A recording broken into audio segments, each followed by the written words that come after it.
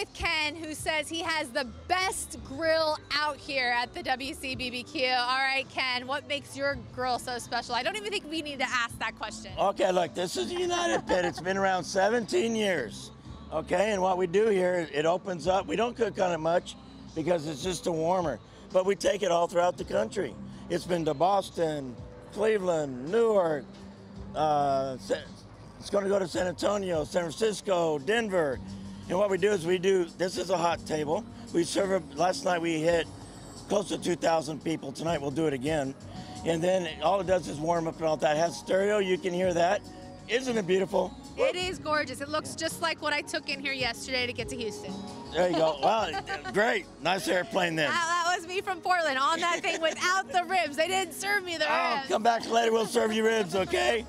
So you're entering the competition though.